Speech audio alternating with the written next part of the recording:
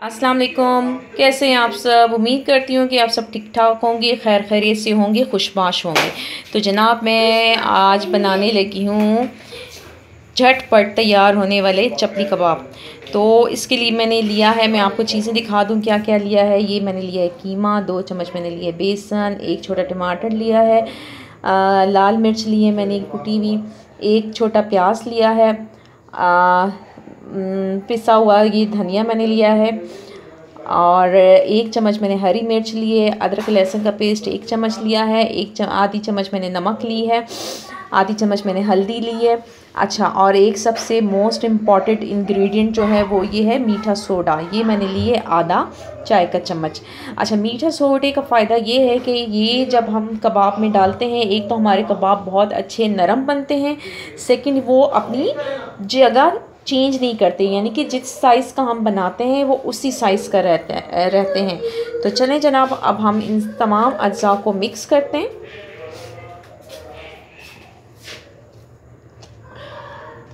सारी चीज़ें मैंने इकट्ठी, एक ही प्लेट में आपको दिखाने के लिए रखी थी, ताकि ये मैं आराम से आपके सामने सब चीज़ें दिखा के और इसको मिक्स कर लूँ।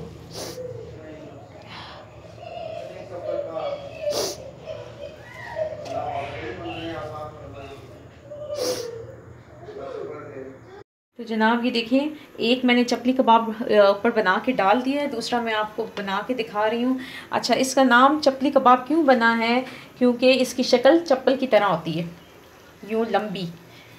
हम गोल अक्सर यहाँ पे गोल बनाए जाते हैं, लेकिन असल जो शक्ल है, पिशावरी चपली कबाब जो है, वो इस तरीके की शक्ल होती है उनकी। बस ये पेड़ा लिया है और इसको अब मैं यूँ लंबाई में इसको शेप देनी है। गोल नहीं। वैसे आजकल हमारे चपली कबाब गोल ही बन रहे हैं, लेकिन जो असल पिशावर के चपली कबाब हैं, वो इस शक्ल में होते हैं। इसलिए इसका नाम चपली कबाब बना है। जी, ये देखें। आप ये भी मैं इस पर डाल रही हूँ। जी जनाब, आप आहिस्ता आहिस्ता मैंने और भी बना के उससे मैं फ्राई करूँगी और साथ साथ मैं आपको दिखाती जाऊँगी। आप चारों चपली कबाब जो हैं वो मैंने तवे पे डाल दिए हैं, बना, बनाने बनाने के लिए फ्राई हो रहे हैं। अब जब इसकी एक साइड पक जाएगी तो फिर मैं आपको पलट कर दूसरी साइड दिखाऊँगी। आप ये देखें, हमारे चपली कबाब जो हैं, वो माशाल्लाह एक साइड से बहुत अच्छे तरीके से फ्राई हो चुके हैं। अब जब दोनों साइड से हो जाएँगे तो फिर हम इसे डिश आउट करेंगे। देखें माशाल्लाह कितने अच्छे अच्छा सा कलर आया है। ये देखें, माशाल्लाह। और देखा, नाजरीन, इन्होंने अपनी जगह जो है, वो बिल्कुल चेंज नहीं की। जिस साइज़ के मैंने डाले थे, ये इसी, इतने ही साइज़ के हैं। तो ये बहुत अच्छी टिप है जो मैंने आज आप लोगों को बताई है, आप ज़रूर इसे अप्लाई कीजिएगा।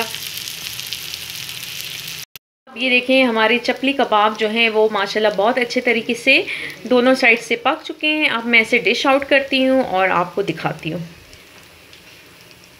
अब ये देखें, हमारे चपली कबाब माशाल्लाह से तैयार हो गए हैं। बहुत अच्छी खुशबू आ रही है। मुझे उम्मीद है कि आपको ये रेसिपी पसंद आई होगी। आप ज़रूर इसे ट्राई कीजिएगा। बहुत आसान है और सिर्फ़ घर की चीज़ों से मैंने ये चपली कबाब तैयार किए हैं। बाहर से कोई और चीज़ मैं नहीं लाई। जो हमारे अमूमन किचन में चीज़ें दस्तियाब होती हैं, सिर्फ़ वही चीज़ें मैंने यूज़ की हैं। तो मुझे उम्मीद है कि आप लोग ज़रूर ये ट्राई कीजिए करेंगे और वीडियो को लाइक कीजिएगा, मेरे चैनल को सब्सक्राइब कीजिएगा, अपनी बहन को दुआ में याद रखिएगा और अपना बहुत ज़्यादा ख्याल रखिएगा। इन हम फिर मिलेंगे किसी बहुत ही अच्छी सी, आसान, सस्ती सी रेसिपी के साथ। इजाज़त चाहती हूँ। अल्लाह हाफिज़।